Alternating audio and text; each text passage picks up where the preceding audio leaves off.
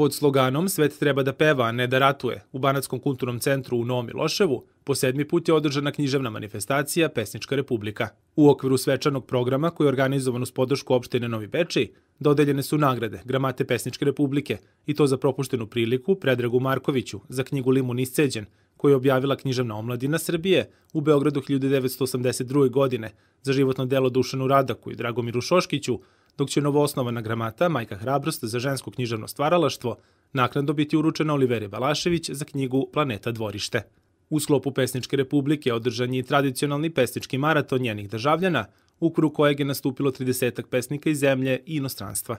Utiske o dobijenim nagradama podelili su Predrag Marković, Dušan Radak i Dragomir Šoškić.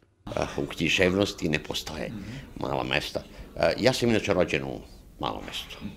I još uvek sam, koliko znam, najmlađi upisani član te biblioteke, jel, dakle, negde daleko u provinciji.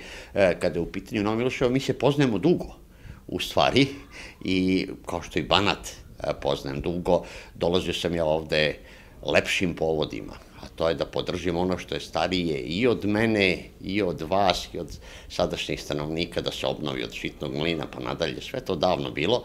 Ovaj, drugo, imam prijatelje ovde.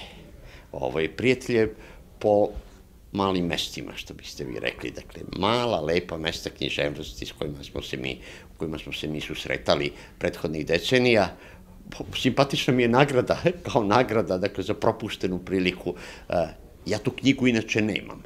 I sad sam je video, pošto 15. decembra je obeleženo 40 godina mog književnog rada, odnosno objavljivanje edicije Pegazu u kojoj se ta knjiga pojavila. I ja sam tu prilikom video knjigu posle mnogo decenija. Ovo, ovaj, tako da će biti simpatično, u svakom slučaju. Ovo je veliko priznanje. Ovo je jedno od najvećih priznanja za koje, ovaj, koje postoje ovde. I ovaj, Banatski kulturni centar je um,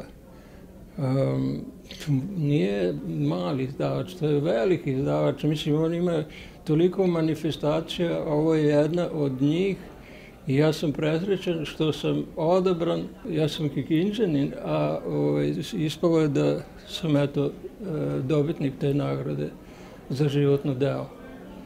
I to je e, veliko priznanje, veliki posticaj za da dovršim ono što sam zamislio da bi trebalo da, da, da uradim, da bi, da bi stvarno to bilo uh, ostvareno kao pravo priznanje?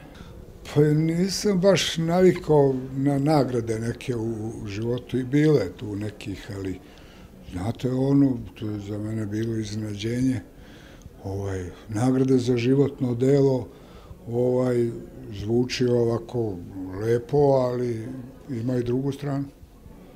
Znate, čovek priginje ka kao onoj drugoj strani. Ali dobro, šalu na stranu, vrlo sam ovaj, zadovoljan tom nagradom, malo rekao da sam iznenađen. Ali, ovaj, znate šta, sve je to relativno.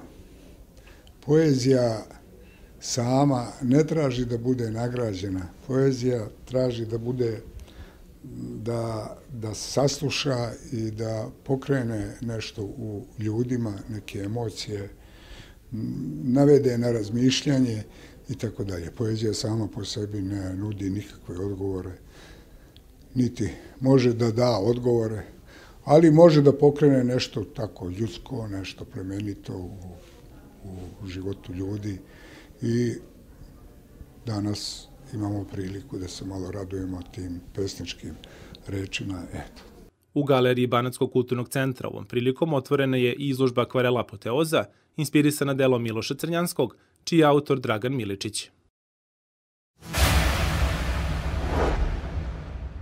U organizaciji Udruženja za prosperitet žena Novi Beči, a u saradnji sa Crvenim krstom Novi Beči, u prostorijama Centra za održivost zajednice u Novom selu, sprovedena je humanitarna akcija prikupljanja novčanih sredstava namenjenih za troškove lečenja novobečejca Pavla Vlaškalina – Pored ukrasnih i upotrebnih predmeta doniranih za prodaju, humani građani su u prethodnom periodu prikupili novac za paketiće koje je u prazničnoj atmosferi prisutnim mališanima podelio Deda Mraz.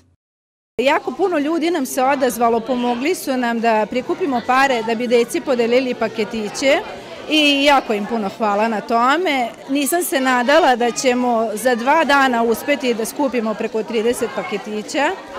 E, od toga nam je ostalo para, to ćemo dati Pavletu sada kada se ovo završi i mislim da je atmosfera više od svake pohvale, da deči osmeh puno govori i da su zaista danas deca srećna. Došli su ljudi iz spektra da slikaju decu i puno im hvala na tome. Ovaj, imamo i Deda Mraza, koja ja bi svima želela srećne novogodišnje i božićne praznike svim ljudima, da se lepo provedu i poželjela bi im pre svega jako puno zdravlja. Ovom prilikom prikupljena su sredstva u iznosu od 30.600 dinara i 10 evra.